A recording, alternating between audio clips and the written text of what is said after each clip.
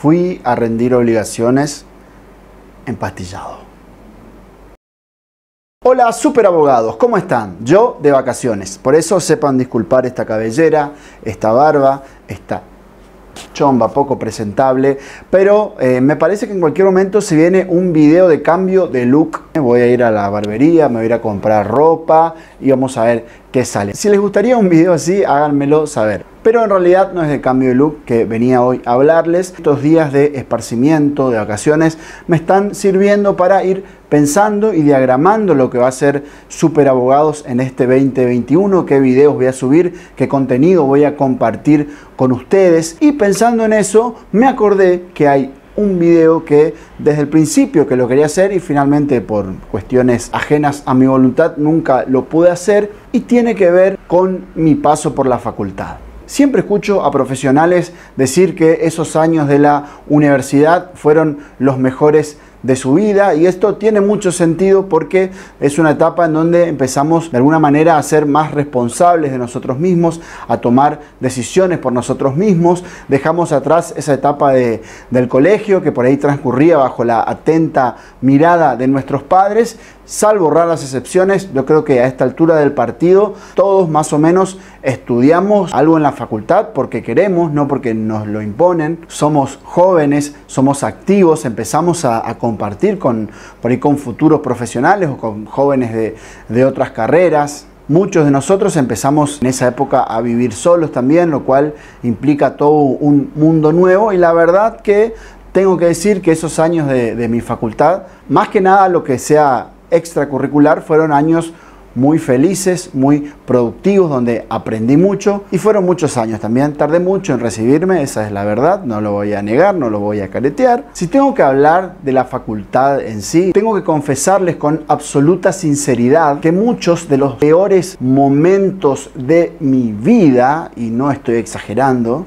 sinceramente se los digo, fueron esas dos o tres horas previas a los exámenes, sobre todo a esos exámenes de materias que son bisagras en la facultad, como por ejemplo, sí, lo estás pensando. Obligaciones. ¡Ah! Es muy difícil descifrar qué es lo que tiene esa materia, porque si lo miramos bien y lo miro hoy a la distancia, ni siquiera es una materia fea, no es derecho tributario o derecho público internacional tiene su onda, tiene algo, sobre todo en los exámenes, yo no sé por qué, pero se dificulta, se hace difícil estudiar, se hace difícil aprobar. No quiero sonar exagerado, obviamente vamos a separar cuestiones este, familiares o cuestiones sentimentales más profundas, pero en lo respecto a la vida social y académica, si se quiere, al menos en mi caso, tengo que, decirles la verdad, los peores momentos de mi vida, o uno de los peores momentos de mi vida fue cuando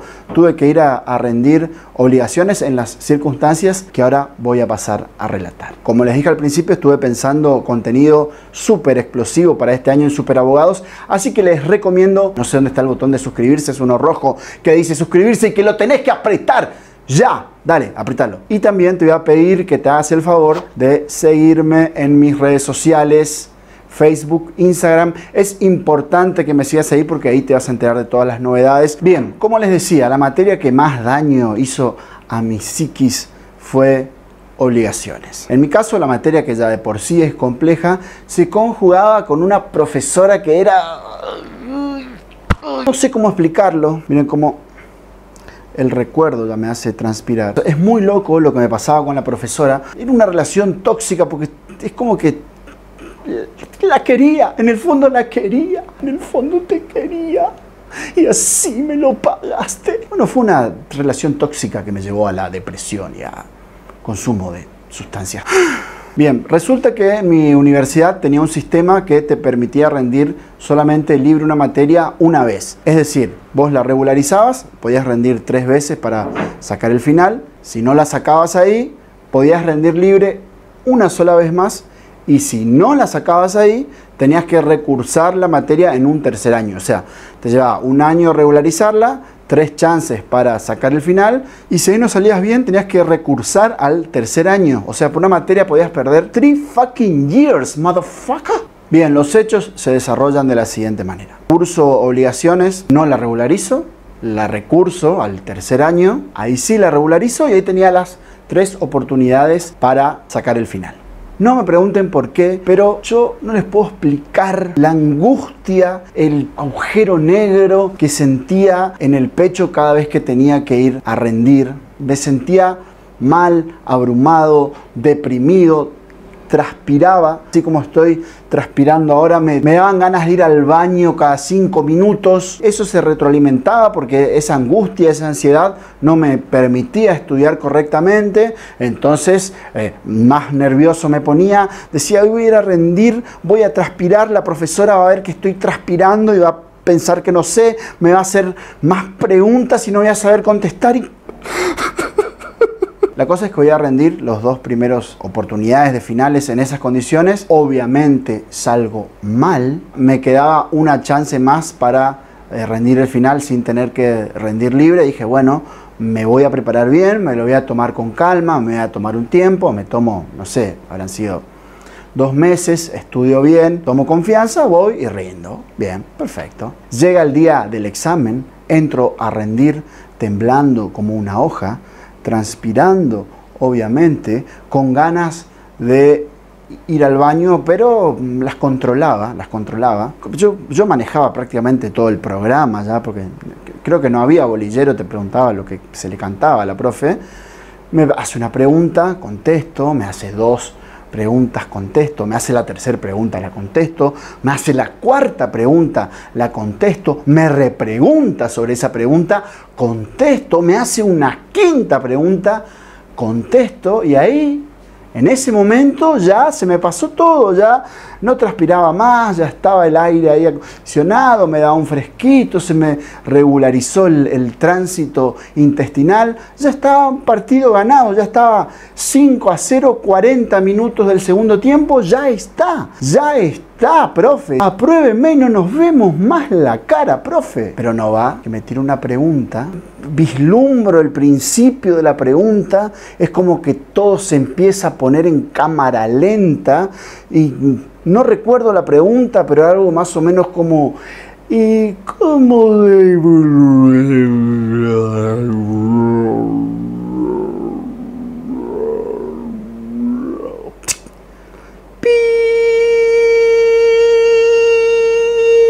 Quedé en blanco literal. Me hace de esas preguntas que no podés guitarrear, que no podés zafar, que sabés, que no sabés. No sé cuánto tiempo pasó, para mí fueron 37 años que yo quedé petrificado, en silencio, mirándola fijo a los ojos, y en un momento lo único que atino a decir es, no sé, profe. Y miren, todas las circunstancias que rodean a este hecho, puede ser que me las confunda, que no me las acuerde bien, que las modifique un poco, pero lo que ella me dijo, y no lo que ella me dijo, sino más bien el tono en que me lo dijo, me lo acuerdo perfectamente. Yo le dije, no sé, profe. Y ella me mira, se sonríe con una sonrisa cómplice y me dice, lo felicito, Primorac. Esa era la respuesta que quería escuchar. No sabe. Lo que sí sabe es que yo no lo puedo aprobar si no me contesta esta pregunta. Le voy a poner un 3 y nos vemos en la próxima mesa.